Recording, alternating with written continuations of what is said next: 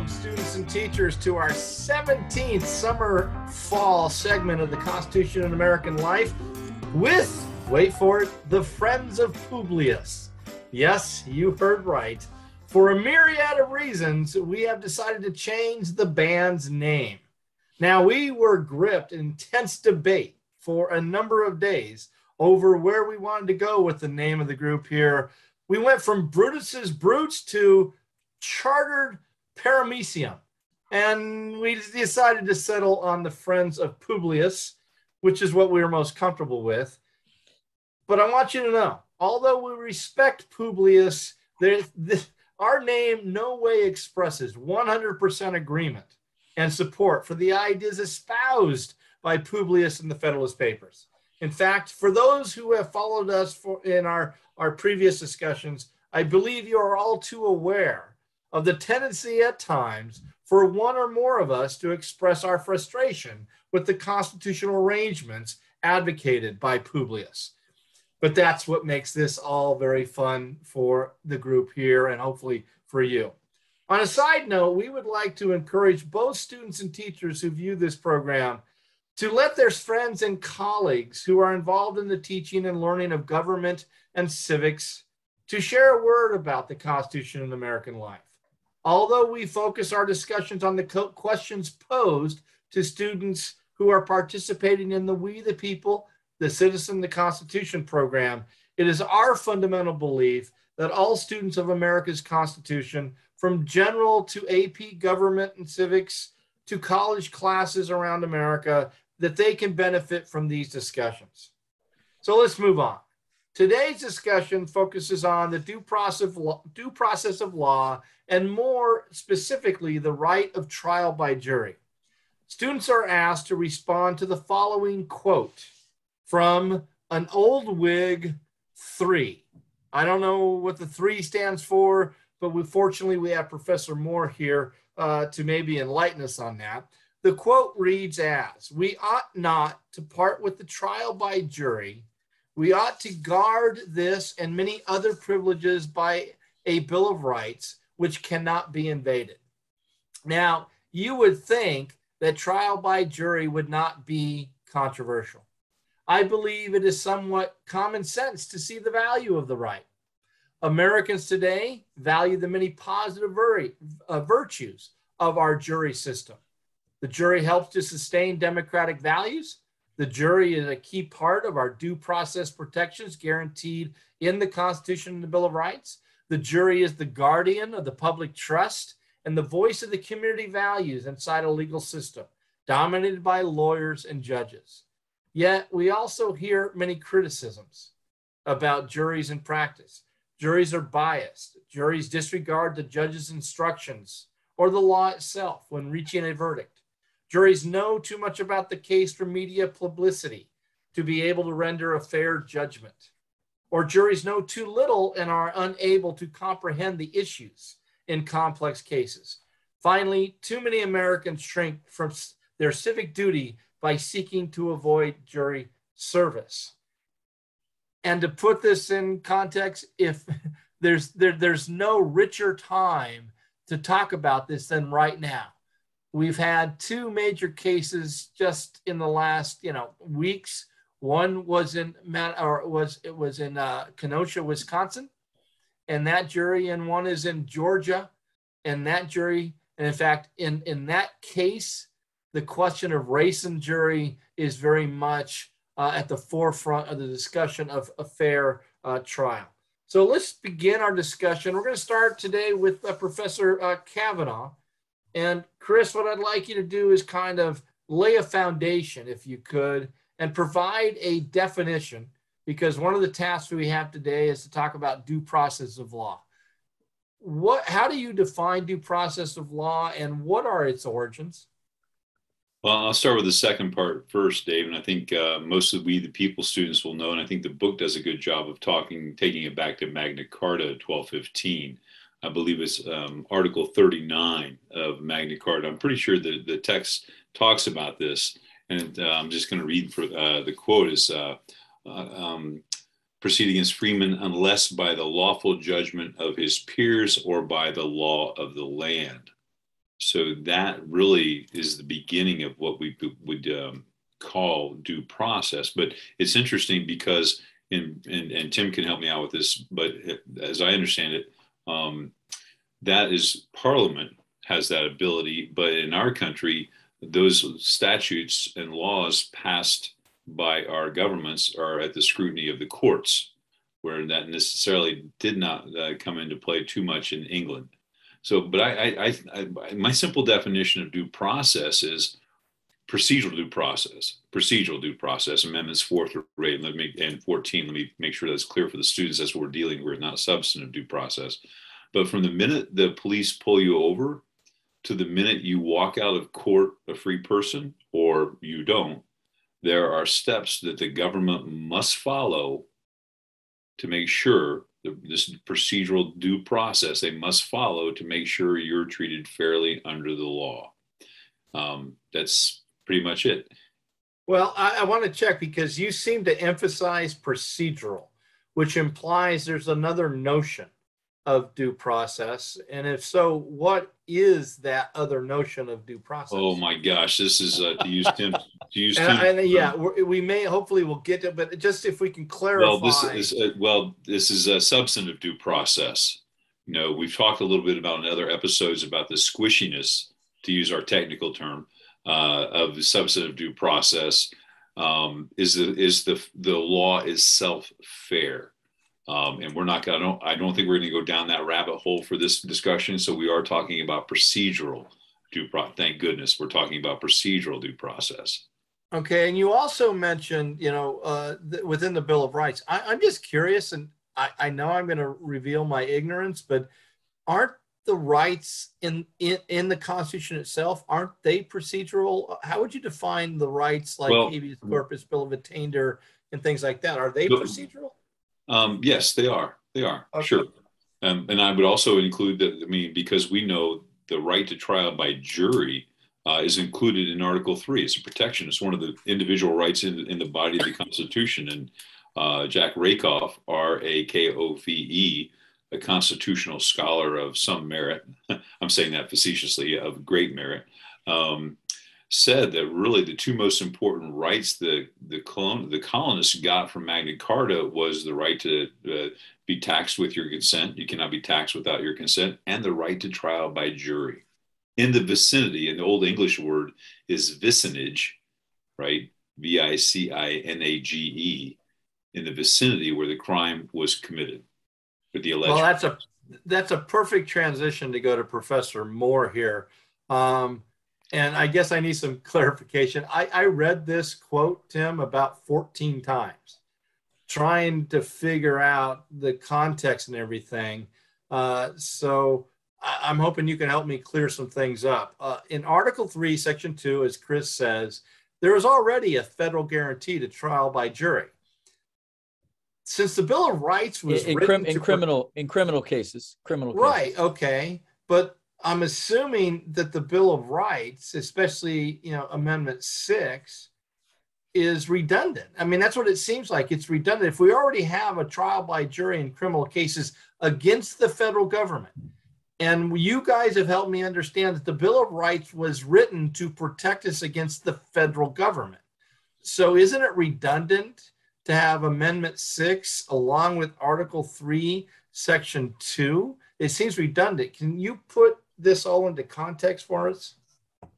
Um, well, in part, it is uh, redundant, but you know, uh, students, if you look at Amendment Six, there's there's some add-ons. Uh, yes, there's the there's the restatement about criminal trials. Uh, there's the statement about uh, vicinage, but then there's a few other things that describe what's going to go on, uh, what rights you have, procedural rights that you have that are not listed in the body of the Constitution uh, Article 3. So, so I would say in part it, it's a restatement, but it goes further and elaborates a few more details of what a trial would, cons- um, what rights a person is afforded uh, in that trial. Well, why, why uh, just help me out. Why the redundancy? Um, I, I don't, honestly, I don't know exactly why that is. Um, I think it, it remember in part Madison is writing the Bill of Rights after the Constitution's ratified, and he has to address a lot of the anti-federalist concerns, uh, um, in frankly, in what the Constitution doesn't say. Um, and so I think I would answer it at a theoretical level that he's he's clearly speaking to anti-federalists that we're going to put some of your gripes that you've uh, that you um, it, you know put forth in 87 through um, 88 and we're just going to state those straight up in a bill of rights. Uh, so i'd say he's he's uh, attempting to slake their fears. Uh, there's our word for the week slake um, their fears their fears in the first congress well, so this quote go ahead chris i'm sorry i'm sorry david i think i want to jump in here and absolutely I agree with tim there's a redundancy but i think you have to take the sixth with the fifth and the due process clause, the procedural due process clause within the Fifth Amendment itself, right? right? So the idea is, is that the accused must be given, you got to be given notice of the charge, right? Uh, you've got to be given uh, adequate opportunity to respond to that charge. And there's, I mean, this is a thing that's important about this is the right to be heard. And I'm not sure if the text uses that language, but that includes the right to be heard. So that I think you take the fifth with the sixth does it is it redundancy? Yeah, but it also makes it the, the, maybe the right more secure or more protected. Well, so I'm assuming back to you, Professor Moore. This is the beginning. This quote, the context is the beginning of the Federalist anti-Federalist debate because it's in October of 1787. Yep. yep. All right. So is this part of the orchestrated plan to advocate for a general Bill of Rights? Is that what the context is of this quote? Um, yeah, that's a and, and, that picks up steam too, especially after Massachusetts convention, where every state afterwards sends along recommendatory amendments. So, so yeah, um, I mean, from even Pennsylvania, one of the very first, uh, actually the second to uh, uh, to ratify, uh, they didn't have any recommend, uh, excuse me, recommendatory amendments. In fact, the Federalists at the convention made sure the anti Federalist gripes were not entered on the official record. So the anti Federalists in Pennsylvania literally have to have their suggestions, recommendations uh, about the Constitution and how it should be changed. They have to go outside the convention and they do so, and their gripes are are put in the newspapers, and it was known as the dissent of the Pennsylvania minority. Uh, so that's interesting. This, the second thing to note about the Pennsylvania minority is that they're in their listing of rights that they're suggesting uh, have many things that do wind up in the Bill of Rights, including their suggestions regarding juries. So I am to, I am to take it because I'll be honest, and again, I, am the least educated here uh, when it comes to this. Old Whig Roman numeral three is an anti-federal. Right. Yes. Right. Uh, Yes. Now, and it's early too. Re- remember, old um, James Wilson rankles a lot of people's sensibilities, um, and he gives a very early speech um, in Philadelphia. Uh, basically, his argument is, uh, in, many ways, Wilson's first speeches about supporting the Constitution are really kind of become the Federalist uh, party line in so in, in many ways. Now Publius starts writing uh, very quickly as well, but Wilson's arguments early in the debates drive a lot of this. So Whig is old Whig uh, is responding, and, and, there was a series of old Whig essays, and this was the third one.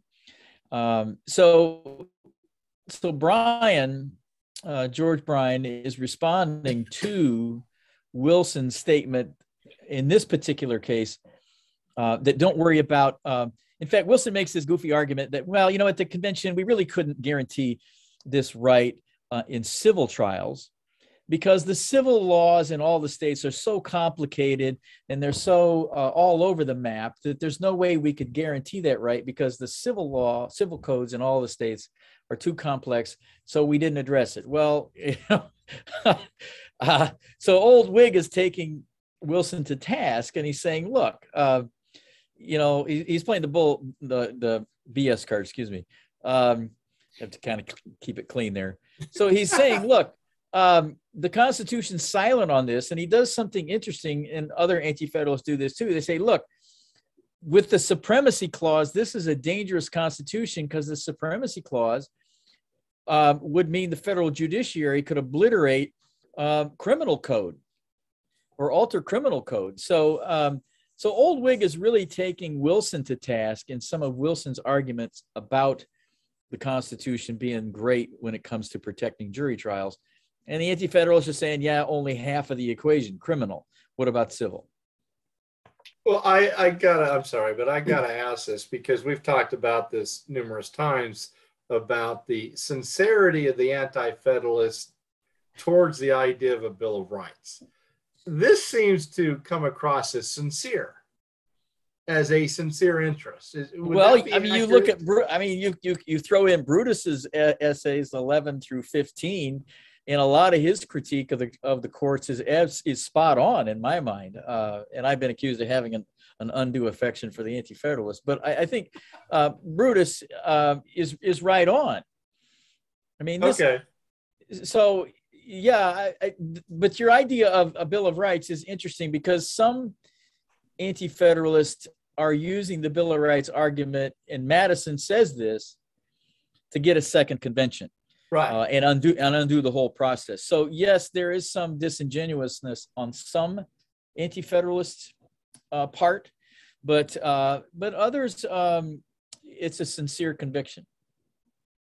So professor williams uh, in my research this blew my mind. I don't know why it blew my mind but it blew my mind.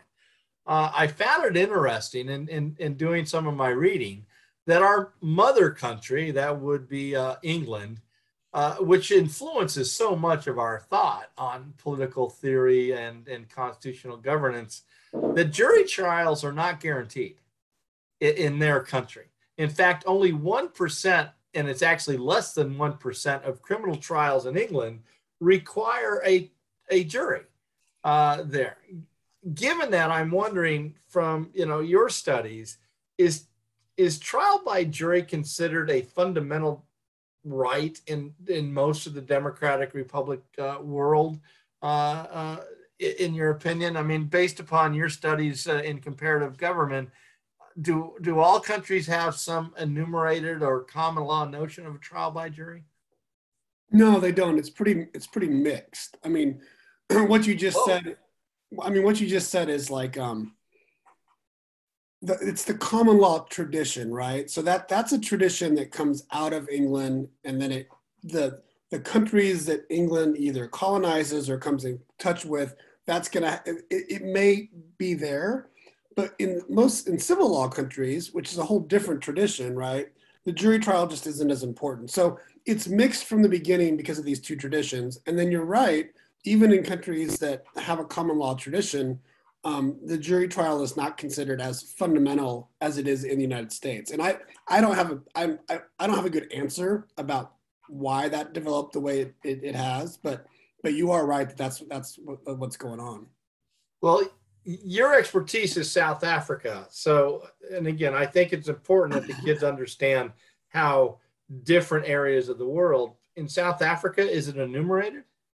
No, in fact, in South, South Africa, um, there was a right to trial by jury until 1969. And in 1969, that right was abolished. Um, the, the, the, reasons for that are, are mixed, but it's, it's, um, it was definitely to give, you know, the, the courts and the law played a huge role in the oppression of Black South Africans. Um, the, the courts were used, but they were used in a way where they wanted to get particular outcomes, right? So having a jury system would open it up to um, blacks, of course, weren't going to be allowed to serve on juries; they never were. But you could get some white South Africans who might have a little more what we might call progressive or liberal understanding of the law. And I don't think the South African political system wanted to roll the dice with that at all. So they just abolished it in 1969. And in the new constitution, it, it was not adopted. So I, I want this is to all three of you uh, to to take a shot at, uh, and I'll I'll continue with Professor Williams here. So, given that international perspective, yeah. why do you think, at least in our own minds and in in in enumerated, you know, uh, Constitution, why is this considered so fundamental in our country? Yeah. Why, why, why does America put so much emphasis on this? Yeah, I mean, I think I think students should think about this question both in terms of the theory. What I'll share is like some reasons why, but then we should also talk about like how juries actually operate in practice, because a lot of this, a lot of how they operate goes against these sort of explanations. But I think it's, I think the reasons it's so important is that you know the purpose of our government, as we've talked about, is to protect us from tyranny and to protect individual rights. So a criminal, uh, the, when the government charges you with a crime of which they could take away your liberty, like put you in prison, that is like the the biggest power we fear of government from the beginnings, right? So to me, it makes sense that for that, for the government to do something that drastic, that we really want to have other actors rather than just the government making those decisions. We want citizens, right? And I think this is a wonderful example of how our our classical Republican and our natural rights philosophy kind of come together. Because the notion, again, this is in theory, that you would have virtuous citizens coming together, applying law um, for a member in their community, to come back to Chris's point, this is all very community based, right? It's you have, you have that right to trial by, by jury of people from your community. Um, and it seems to align very well with the story we tell ourselves about who we are and how we govern ourselves. And it's one of the few examples of, of a form of direct democracy in our system that I think it's, um, I think most Americans complain about jury duty, right? But at the same time, most people I talk to who have been through jury duty find it one of the most transformational, educational, important experiences in their civic life. So I think for some of those reasons, in theory, is why it's important. Well, the word peer, I think, is to your point too, uh, Mike.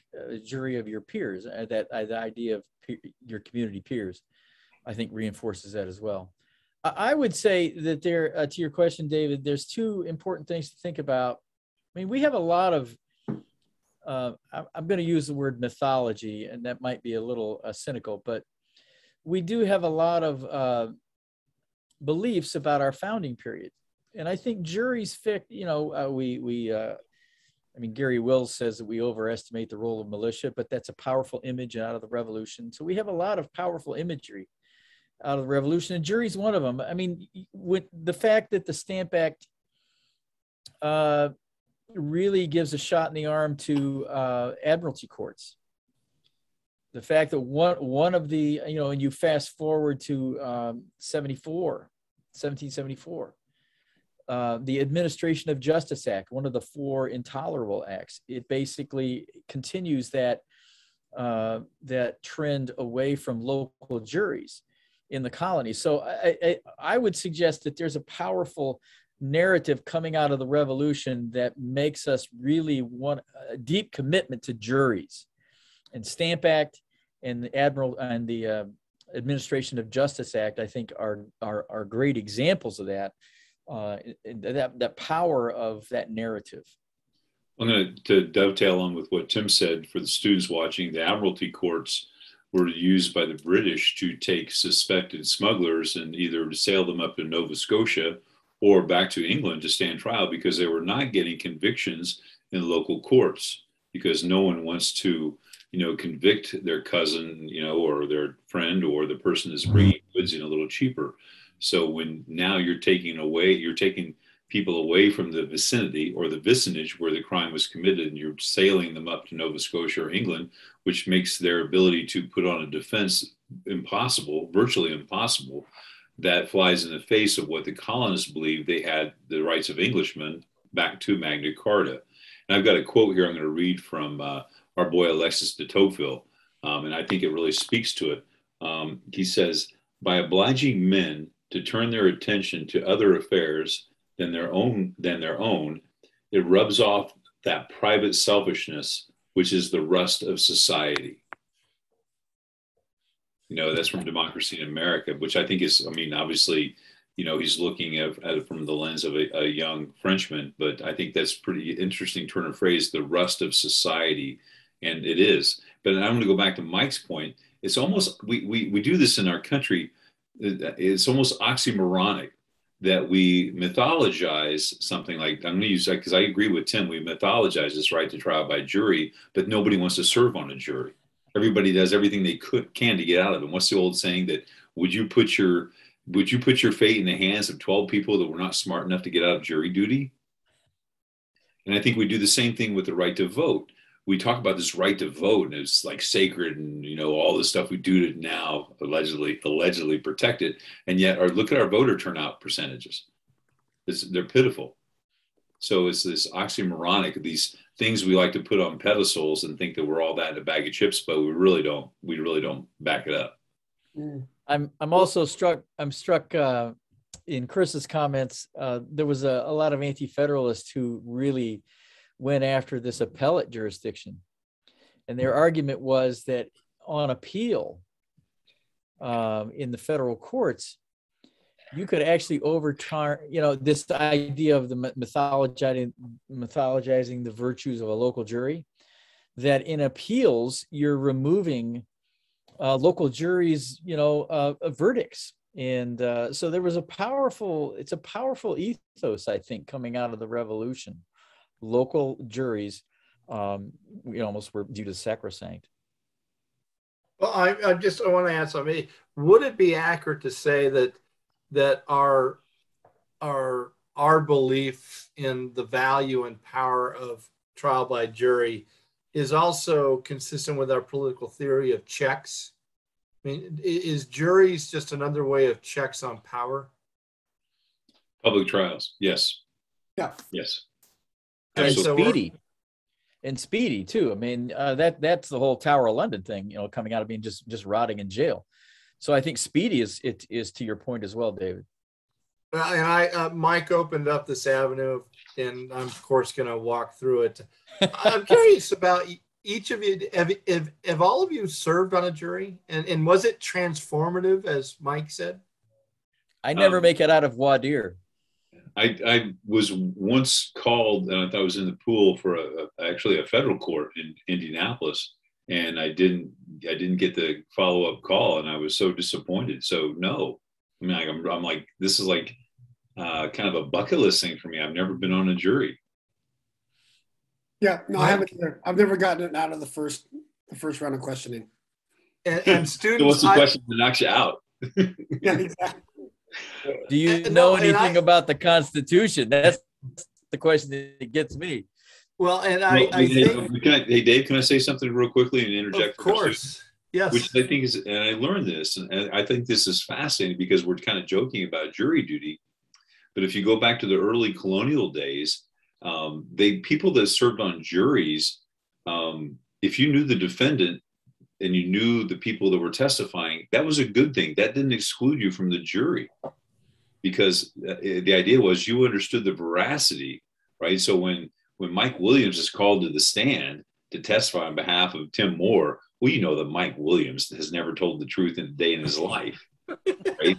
and so you're, you're in the jury and you know I'm Mike. screwed. I'm so screwed. Especially about Tim Moore. I've never told the people about it. Well, for the students, before we get too too silly here, this really strange and how that's that's changed and that's the, the metamorphosis of that. Where now, I mean, if you know, do you know the defendant? Uh, yes, I do. Well, you're out, right? Or do you know knowledge of this? You do. You're out.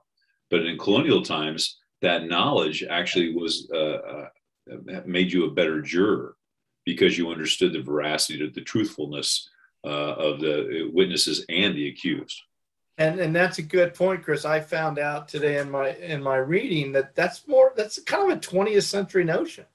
Uh, at least in England, they didn't eliminate people in that circumstance until the 20th century uh, in, England. Uh, so the, that that's fascinating. And you know, the second thing that's fascinating is I'm the only one that served on jury. Now, for you know, and again, let's see, three of us are in our 60s. Uh, then we got the Gen X or whatever it is.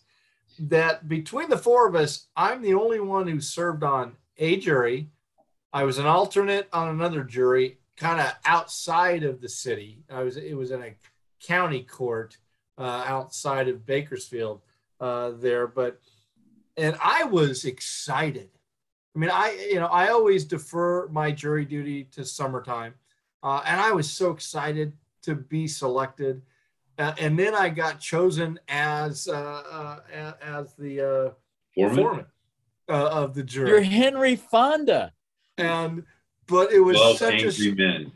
It was. I mean, I was hated at the end, Tim, because it was such a stupid no-brainer case. But I extended it by four hours in the jury room because I wanted to get discussion going. I wanted to talk about due process and stuff. And these people are all looking at me like the guy's guilty. Let's go.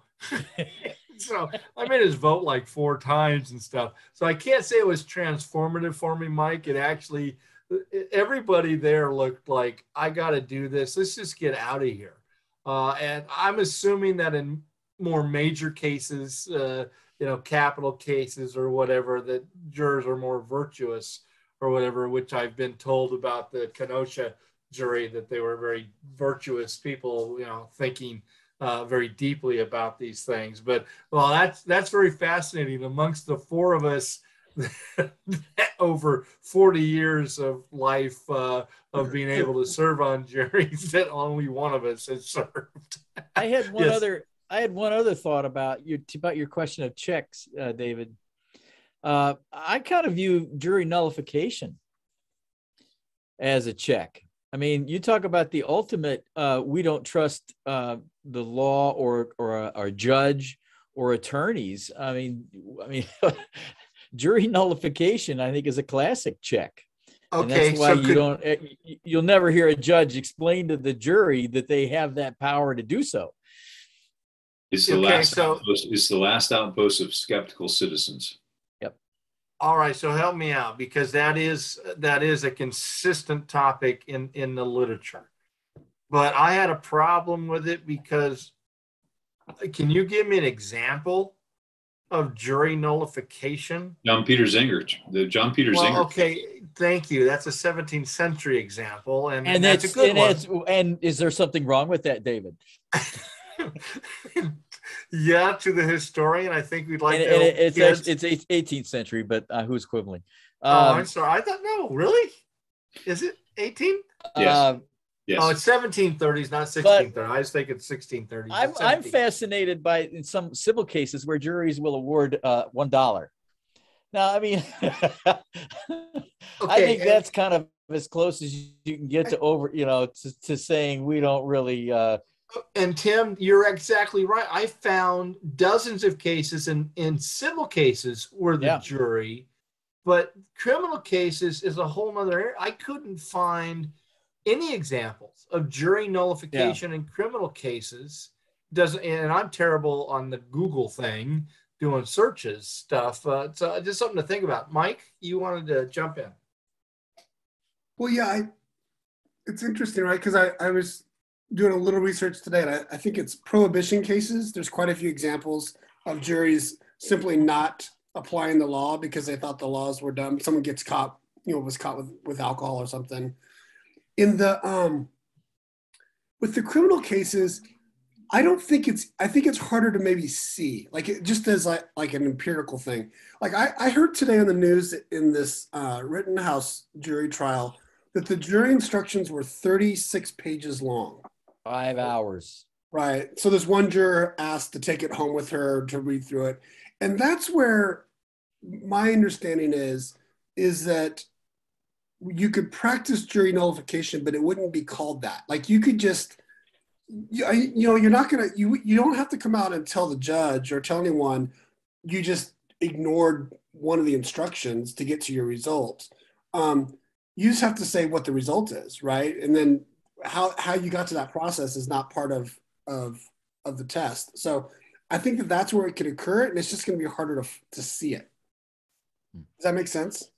Yeah. Yeah, I, I guess it does. It's it, that means you know when we get to specific examples, because like you said, this idea of nullifications in all the literature that I found, but then it was very hard pressed to find specific examples uh, of that. And you you probably are right that it's more it, it's so subtle, you know, that nobody stands up in court and says, oh, "Screw you, judge. I'm not going to follow your directions," uh, kind of thing. Uh, there. Uh, so I want I want to move away from the adoration of trial by jury and maybe look at the other side. And so at the beginning, Chris, uh, I laid out you know the positives and and challenges of uh, trial by jury. And I, I, I'm wondering, just in your view, as as one of the best civics teachers in the country, do you think the positives outweigh the negatives on trial by jury in a contemporary from a contemporary perspective? Um, you know, I thought about this and a couple, two things. Sorry, one is that so few cases today go to jury trial, and I, the students can look up the look up the percentage. I think it's under 10% of cases yes, it is. go to under jury trial. So I think like 93% of cases are not decided by a jury trial. And the other thing I think that is most in a contemporary sense is that um, in our adversarial justice system, um, where you are innocent until proven guilty, and I think that my goodness, um, I mean, I, I don't, I don't want to go off on a tangent here, but in that system, it is not about finding the truth. It's not about finding the truth. Thank so you. That's why I struggle with it because it's about the idea the state charges the accused with the crime that they believe that they can get a conviction on.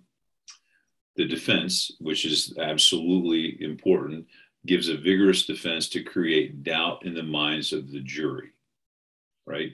It is not about finding the truth as a situation. This is why I think the students would really be, behoove you to look into the modern inquisitorial systems uh, that exist in Europe. Not the old Spanish Inquisition. I keep, keep thinking of Monty Python. You know, if it floats, it's a it's a wood, it's a duck. You know, or that kind of thing. It's not. Yeah, it's not that goofy kind of stuff, right? It is the idea where truth is actually to be determined. And, and Chris, to- can I check in? And that means that there's this, there's no notion of immunity, right? There's no notion as I refuse to testify kind of stuff. And, right. Because I'm more familiar with English courts We're still truth, I mean, truth is the point here, not, you know, not this uh, protection of. Well, that's, the, that's right. the thing is in the adversarial justice system, is truth is not the object right. In the modern the modern inquisitorial systems that are in place in different countries in Europe and Japan and other places around the world truth is the outcome. And you have a panel of judges or solicitors and you have uh, the, pro- the what would be the prosecution team so to speak. You have the accused with the his or her attorney and they answer questions right? And the prosecution defense puts forward its case the defense could put forward a defense, but you don't have a lot of witnesses or other things that we think of in the old Perry Mason or modern movie kind of stuff that we have, or in the like the the Kyle Rittenhouse case, uh, which is much more serious.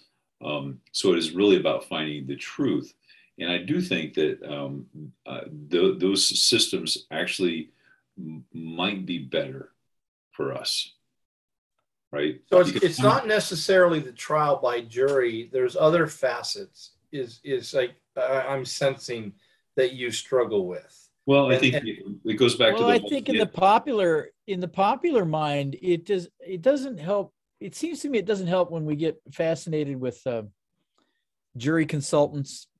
Uh, I mean, it, it produces a big cynicism. I think well in the in in the popular mind mindset uh, about the juries. I mean, in the old even grand juries, you know, you, you, can get a grand jury to indict a ham sandwich. Right. Uh, so so even the grand jury that was supposed to be another check uh, hasn't worked out so well in the popular imagination either. I think in addition with that, Tim, I absolutely agree. Is uh, you know the public when when a case is appealed then to the court because perhaps of shoddy representation or uh, the, what the, the makeup of the jury or whatever the, yeah. you know, the grounds for appeal is, then when those grounds are granted or when that appeal is granted and perhaps the, the Supreme Court weighs in, and then you hear about someone what you know the general public would think oh my gosh the person is guilty of sin but they got released on a technicality you know um, uh, yeah. the Miranda, the Miranda case may be one of the better examples of that, right? Uh, Miranda v. Arizona about self-incrimination. So when people hear that, they get a little frustrated with the system as well. Mike? Yeah, I, I mean, I agree with what Chris's description. But I guess, I guess I'm just, I, I don't just, I, I disagree a little bit about the normative judgment of it. So I guess I would say this: I'm, I am skeptical of an event, any sort of event with multiple actors and things going on, of there existing one objective truth that can be found. I'm just skeptical of that. sure. And I'm skeptical that if we do want to find that, whether a trial where someone's liberty or life is at stake, whether that should be the main goal. So, and again, this is not coming. I, I've never, I, I've never practiced. I've never done a jury trial, but my father was a criminal defense attorney for 40 years. So all a lot of this is coming from him, right? And it's the point of like the adversarial process is set up because if we're going to take away someone's ability to like live in community, that's on the government to prove, and the government better make a good argument. And what you want is you want a vigorous argument between the government and the defense counsel. And the truth may or may not come out of that, but what you sacrifice in terms of the truth, you will, in theory, um, make the best decision about whether this person's life liberty should be taken away. So I would just kind of disagree with what you've set up as the goal of the process itself.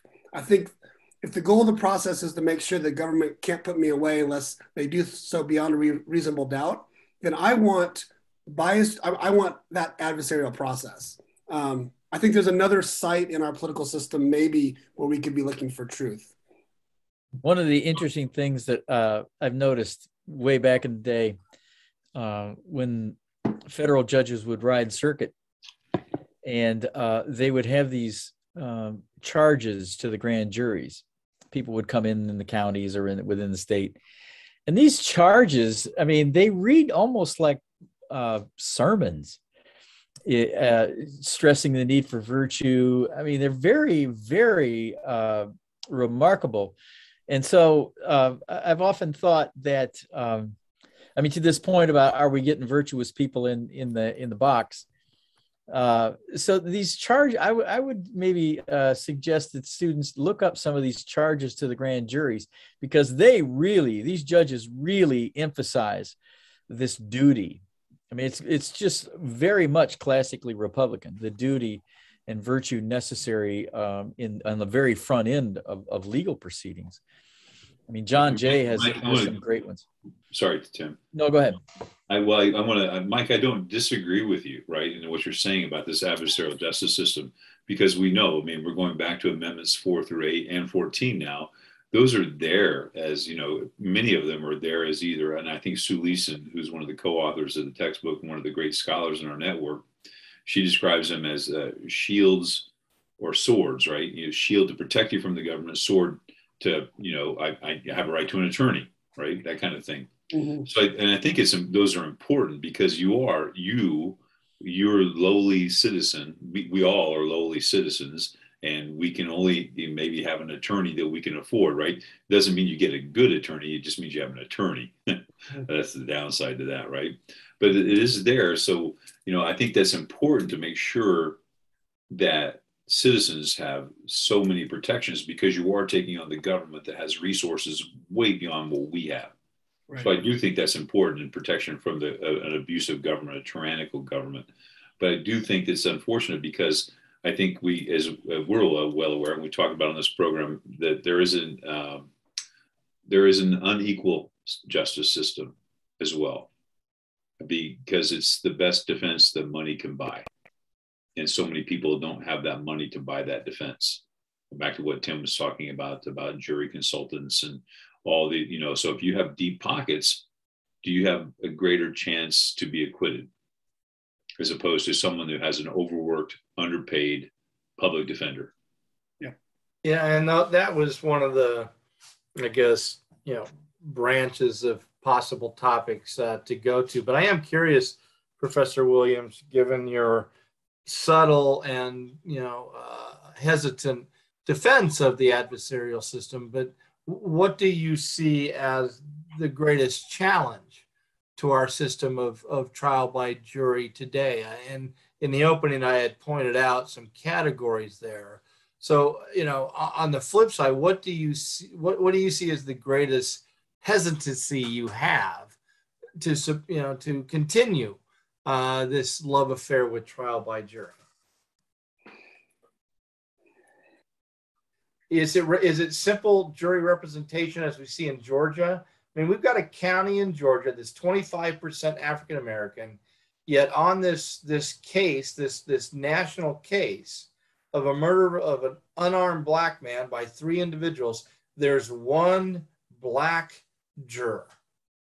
All right. Is that the issue? Is it just simple representation on on juries, uh, or is is uh, as as Chris has said, uh, is it is is it the simple imbalance of justice? Because for 99%, Chris, I would argue that that yes, the government has more power, but the one percent, like Purdue Pharma and the OxyContin situation, Purdue Pharma bought their way out of any sense of justice there because they had the power and the influence. So I and I open this to all of you. I picked on Mike first. So of of the system, what do you see as the greatest challenge uh, to the system that we have?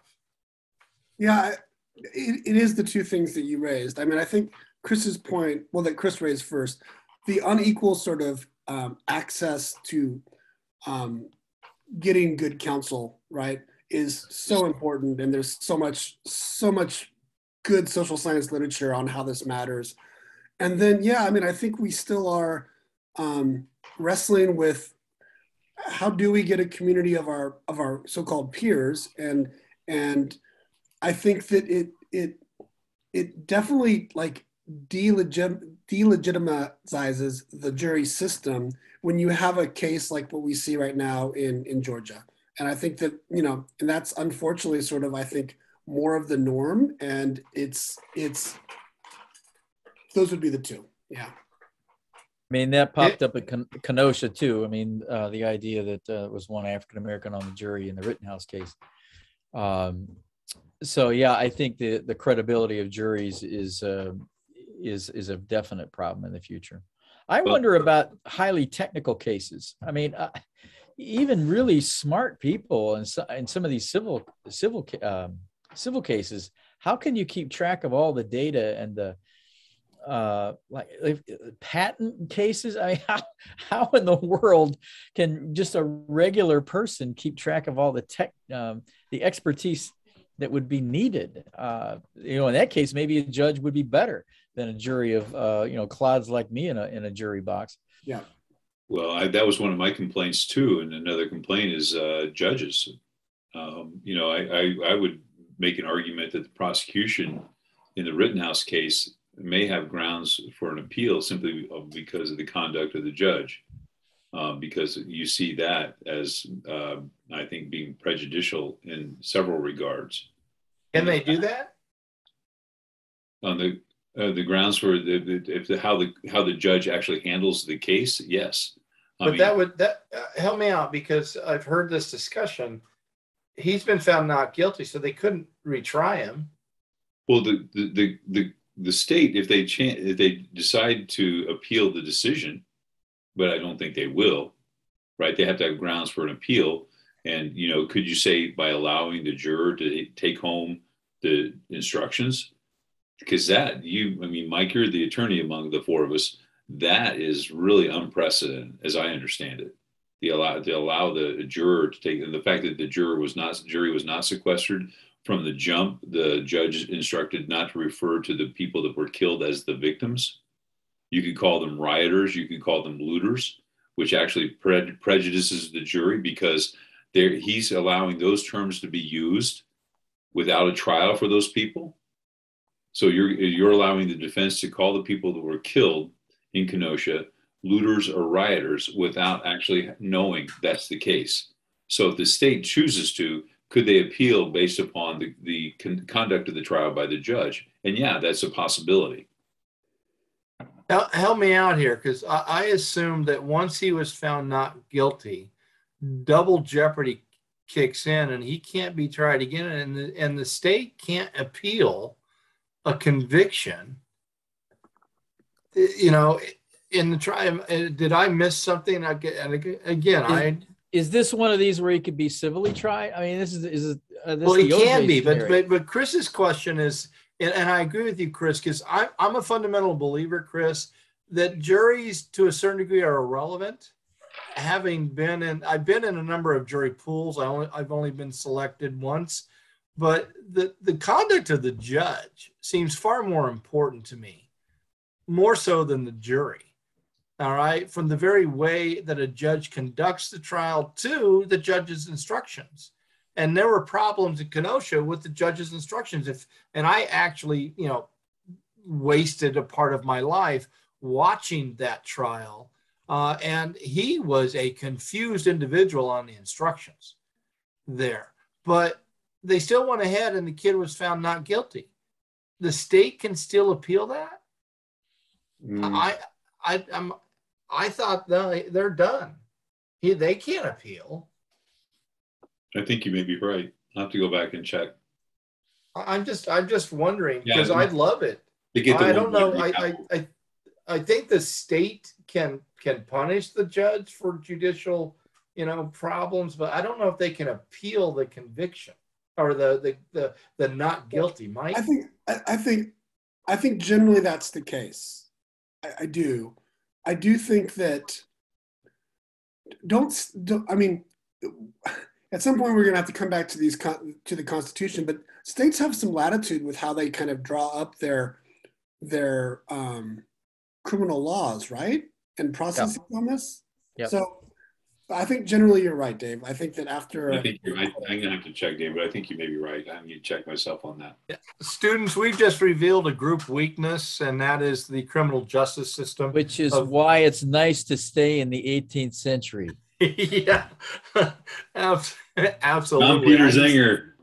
Yeah, but I, but I, I do want students to understand the role of judges in all of this and and i i you know we, we we're talking about trial by jury but the trial by jury doesn't eliminate a judge.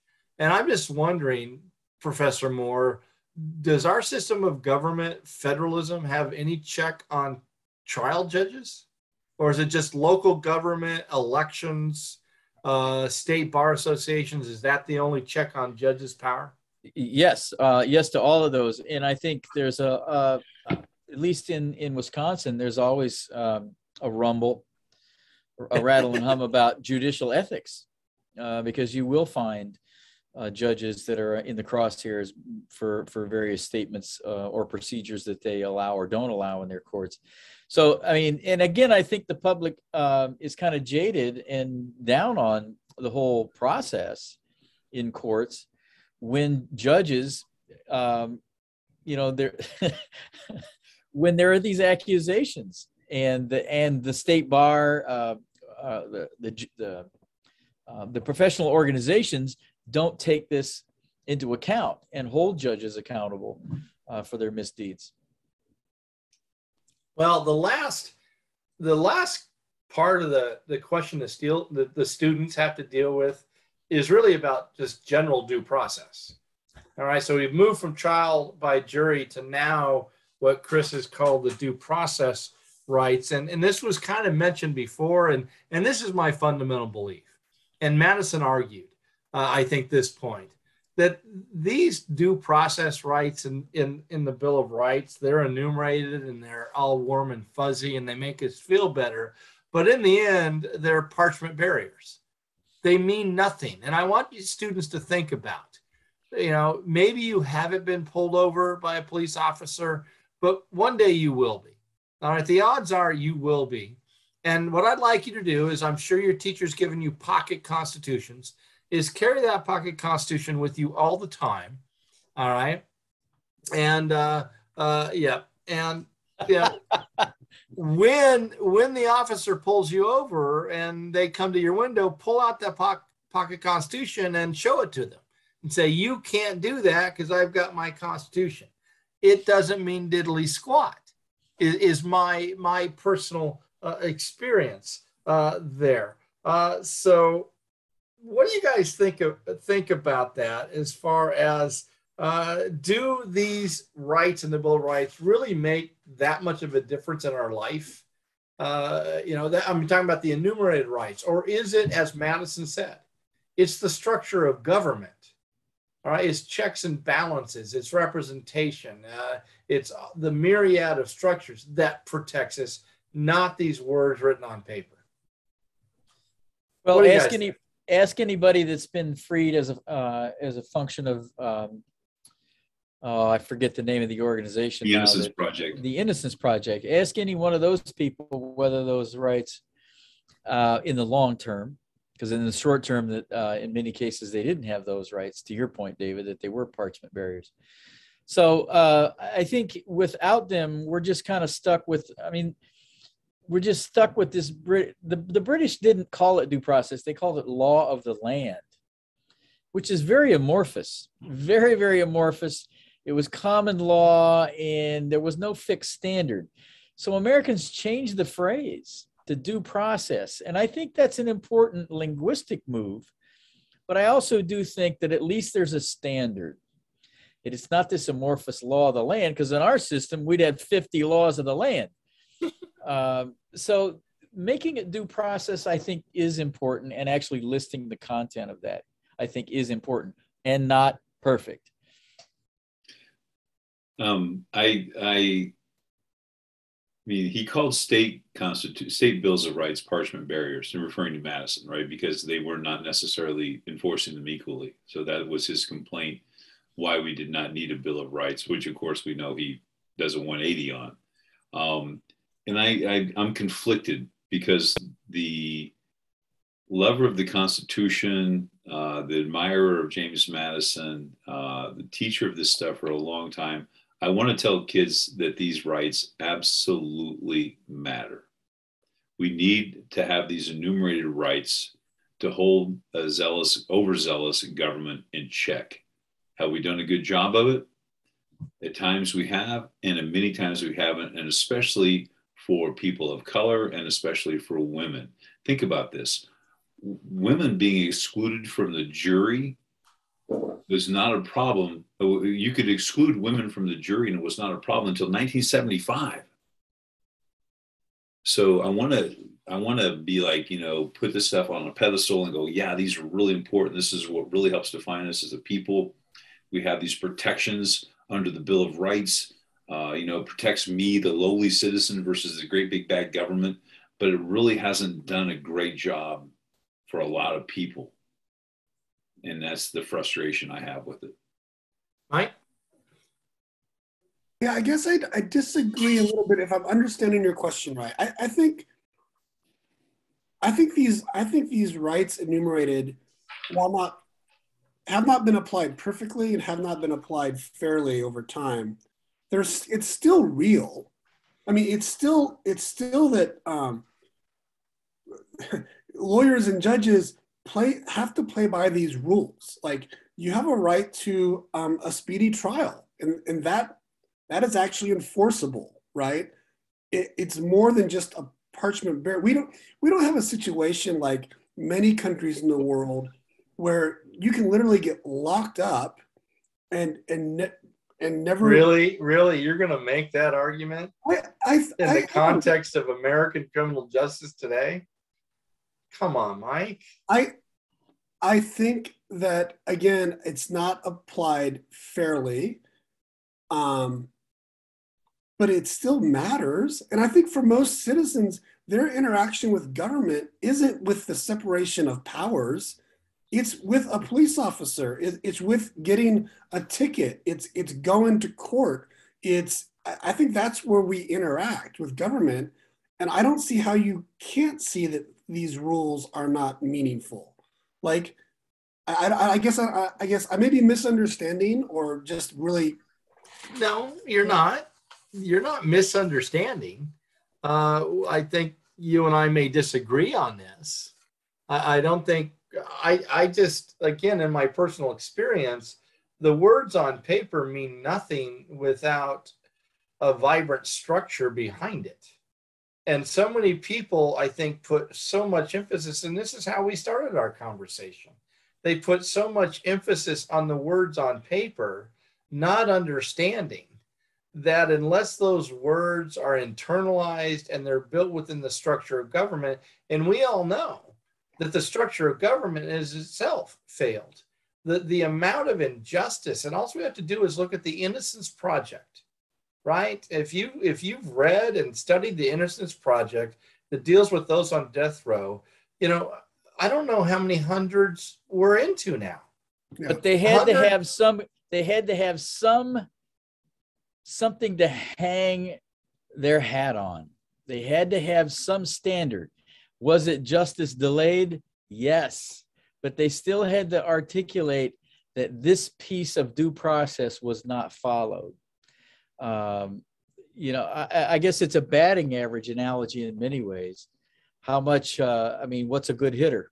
Yeah. I mean, what what what percentage on due process um, do we accept as good. Uh, and that's a sliding scale, I think, for many people. And to Chris's point, uh, for various people. So I still think the standards matter, and they do in very real ways, even if it's delayed. And and those are those are horrific. And that book, Just Mercy, was a wonderful book, uh, and it just broke your heart at how long it takes but there were real standards involved in those in those cases. There were real due process things that came to fore. Think of the uh, the news recently of the uh, two men exonerated for the murder of Malcolm X, yeah. as we're finding right. out. You know, so yeah, were they were they I don't want to say railroaded. It seems like the FBI perhaps uh, I don't know enough details, but I don't want to. Maybe the FBI sat on evidence or knew more than what they let on, but you know, so it's taken a long time. Um, do we live in a perfect system? No. But, you know, Magna Carta in 1215, it only protected the nobles, but it plants a seed. The Constitution, when it's ratified, we know it only it, it plants a seed. It only protects white male property owners. It plants a seed. The Bill of Rights, over a process of time and time and time and time, slowly it's encompassing more people within our country. So we have, as Tim said, we have to have these standards. And yeah, it's been far from perfect, but they do matter. Mike? Yeah, I just want to, uh, yeah, think, I feel like um, Chris and Tim are bailing me out a little bit, which is good. They're making the argument I was tr- well, wanting to make. We had, a, we had a chance to beat up on Dave a little bit. Um, so. No, I, I just, I just think that for me, it comes back to Chris's point, right? You think about who has the resources to access the lawyers who know how to utilize the system to protect your rights.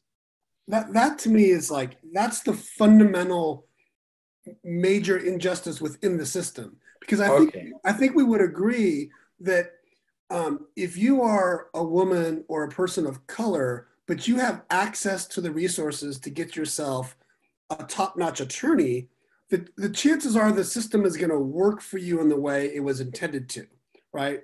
But if you are a person without those means, and I would argue, while I think it disproportionately affects communities of color, I don't think that white communities, um, white communities feel this as well, right?